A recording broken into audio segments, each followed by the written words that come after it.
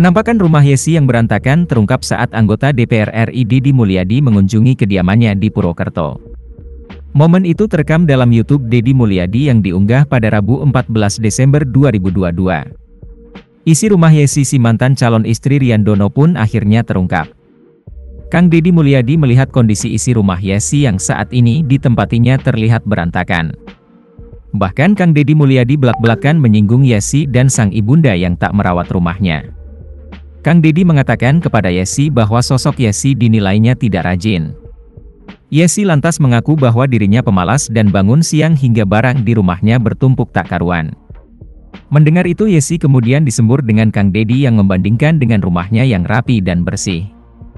Lebih lanjut Kang Dedi menasehati Yesi untuk menjadi wanita yang rajin dan bangun pagi. Menurutnya kebersihan dan kerajinan itu salah satu cara membuka pintu jodoh untuk Yesi. Tak hanya itu, tampak juga menunjukkan kamar dan dapur yang berantakan. Tak hanya menyinggung Yesi, Kang Dedi juga menyinggung Ibu Yesi.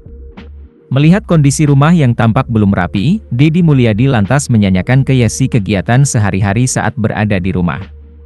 Yesi lantas menjawab kegiatan sehari-harinya di rumah hanya bengong saja.